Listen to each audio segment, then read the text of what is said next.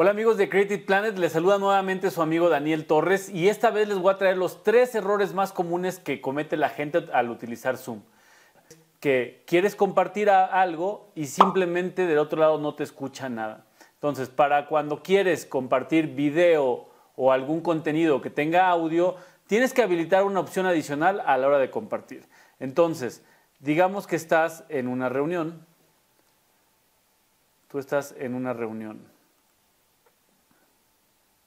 y quieres compartir tu pantalla. Entonces, para compartir la pantalla simplemente tienes que dar clic a este botón.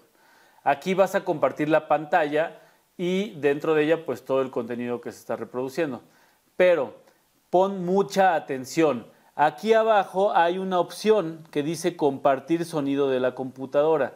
Si esta opción no está habilitada, entonces tú no vas a mandar audio a la hora de compartir un contenido. Y este es un problema muy común que nos pasa a todos. Pon mucha atención, tienes que habilitar esta palomita. Una vez que habilitas esta palomita ya puedes compartir y se va a compartir tu audio.